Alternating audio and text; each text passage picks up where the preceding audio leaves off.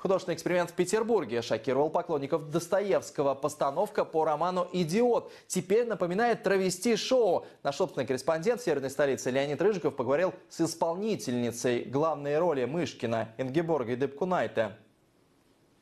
Надругательство это над душой, больше ничего. Ведь сказано, не убей, за то, что он убивал его убивать. От привычных длинных монологов из текста Достоевского здесь практически ничего не осталось. «Идиот» постановки режиссера Максима Диденко скорее вольная интерпретация классического произведения. Герои почти не разговаривают. В клоунском гриме они общаются со зрителем с помощью мимики, танца и песни.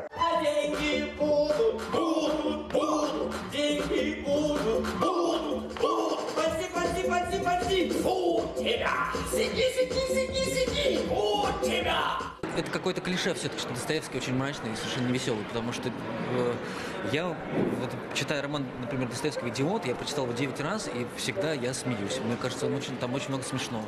Вместо десятков героев всего четыре актера в этой постановке. Многое перевернуто с ног на голову. Женщинам достались мужские роли, мужчины надевают платья и каблуки. Князя Мышкина, центрального персонажа, играет актриса Ингеборга Дапкунайте. Когда ей предложили принять участие в этой смелой постановке, она сразу согласилась.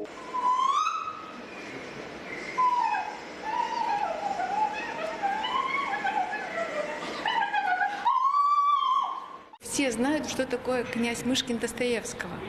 Мы можем только прочитать роман, и у каждого из нас сложится свое понимание этого. И мы делаем и рассказываем историю, то, как мы это видим. И, конечно, все наше. Или ничего. Все. А, как сказать, как это отличается от Достоевского? Полностью и ничем. Полтора часа, что идет спектакль. Все актеры на сцене держат зрителя в напряжении отработанной пластикой движений и сложной хореографии. Чтобы буквально носить друг друга на руках, артистам пришлось даже записаться в спортзал. До этого спектакля я поднимал максимум книгу или блокнот. И это для меня просто целый, ну, серьезный акт. То есть я очень много работал над тем, чтобы... Вот я не знаю, сейчас получится или нет. Нет, пока нет. Даже если ну, кажется, что это какая-то физическая нагрузка, но все равно она не бессмысленная.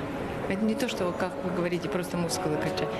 Нет, это все с какой-то целью и осмысленно. Круглая сцена, разделенная перегородкой на два сектора, вращается на глазах у зрителей. Минимум декораций. Белая стена оживает благодаря видеоинсталляции, создавая настроение и помогая лучше раскрыть характеры героев. Показом спектакля «Идиот» в Петербурге открывается театральная премия «Прорыв». Награду вручают молодым артистам и режиссерам за самые яркие, новаторские и экспериментальные постановки. Все то, что отличает театр современный от классического. Хулиганское прочтение Достоевского в жанре клоунада-нуар как раз один из таких примеров. Для интрижка Сергей Попов и Мария Семениченко. РЕН-ТВ.